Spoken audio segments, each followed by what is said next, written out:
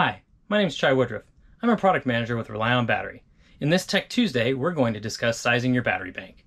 We talk about batteries as an energy storage device, but batteries also need to provide enough power for your application.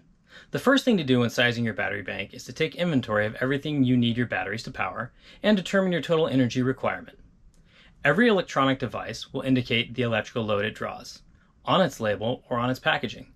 This load will be provided either in amps or watts.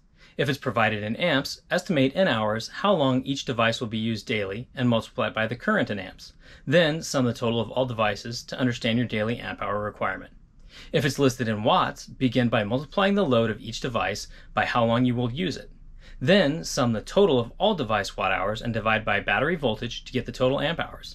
This will determine how much battery capacity, capacity you need. Let's apply this to an example. Say the inventory of everything you need to power includes a microwave oven, electric griddle, portable heater, and crockpot.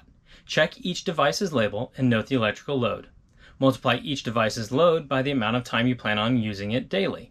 In our example, we've approximated appliance ratings. Using a 1300 watt microwave for 15 minutes totals 325 watt hours. A 1250 watt electric griddle for a half hour totals 625 watt hours. Continue totaling your usage for all appliances. Our example sums to 6450 watt hours. That, when divided by battery voltage, gives your total energy load of 504 amp hours.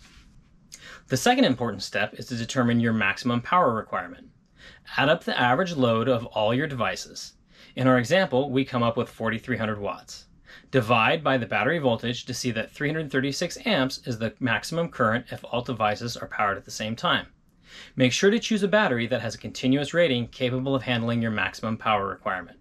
If your power requirement exceeds the limit of a single battery, you can reduce the number of devices you power at once or connect multiple batteries in parallel. The capacity of batteries rated in amp hours when connected in parallel is increased by the multiple of the batteries connected. However, the charge and discharge current ratings for parallel batteries is only increased by 75% of the multiple of batteries connected.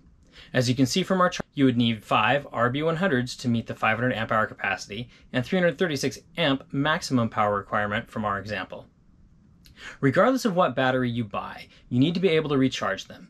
If your recharging power source, be it a charger or solar panels, cannot meet your daily demands, you need to reduce your loads or augment your recharging power. Otherwise, your battery bank will not get fully charged and you will reduce the available capacity for the subsequent discharge. We hope this tutorial has been informative. If you have further questions on calculating power needs, please don't hesitate to contact us. Thanks for watching.